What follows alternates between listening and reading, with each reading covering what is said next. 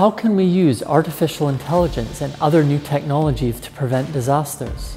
Stay with me, Ilan Kelman, to find out in the final episode of The Science of Disasters. And don't forget, you can still subscribe if you want to watch the back episodes in this series.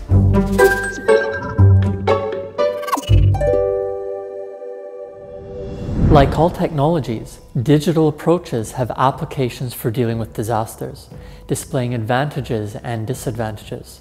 The balance is always ensuring that the technologies match the interests, scope, and capabilities of those using the technologies and being served by them. As an example, around the Pacific, PeaceSat, based in Honolulu, has conducted remote education and training for disasters and development for over 30 years. The Pacific countries span such vast distances and so many diverse island communities that in-person approaches would be challenging, expensive, and unreliable. The PeaceSat program attributes its success to consistency, being long-term, and taking feedback from users, building up trust, and establishing a positive reputation for distance learning and exchange. Updating technology is important, meaning having the funds available while not exceeding the technological capabilities of people using the services. Consistent training is particularly useful for emphasizing pre-disaster actions, such as prevention, mitigation, preparedness, readiness, and risk reduction, helping to avoid the need for response and recovery.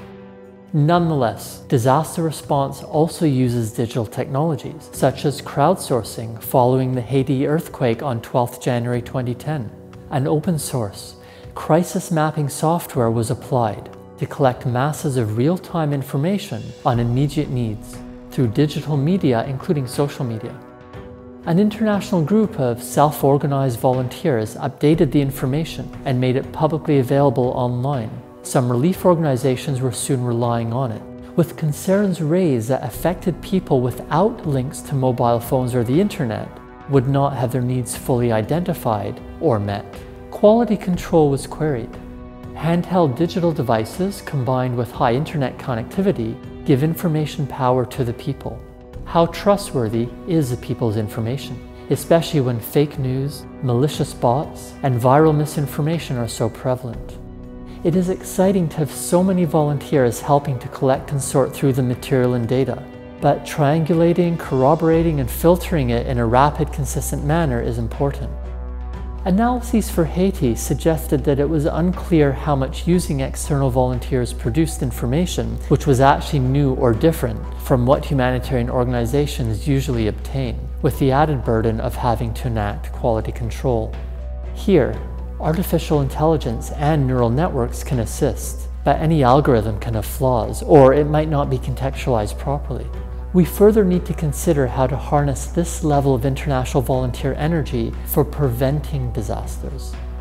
Quality control and self-organized voluntary services have other limitations, one of the most prominent being power relationships. Power relationships, including how technologies are applied, are present in all disaster-related work. As soon as someone decides that using digital technologies requires quality control, then someone has the authority or power to censor, including when developing automatic algorithms. Who makes these decisions? When and how? One major power issue, as alluded to already, is access to the technology, with electricity, devices, and the internet all having costs. Any digital technology must serve people with disabilities, and across languages and dialects, while being robust enough to be viable irrespective of future changes to society and technology. Many who can afford a mobile phone and internet access now would not be able to afford upgrading each one every few years. Overall, digital technologies bring similar conclusions as using other technologies for dealing with disasters. These technologies must be part of the repertoire and must be applied but should not be allowed to take over. They should be used when, where, and how they are needed, rather than being implemented simply because they exist. Technologies represent options which should be available for complementing, enhancing, supporting, and combining with, but never replacing, other approaches. It's not too late to subscribe and watch all the episodes in this series. the science of disasters. And before I go, remember, it's humans, not nature, that create disasters. Bye for now.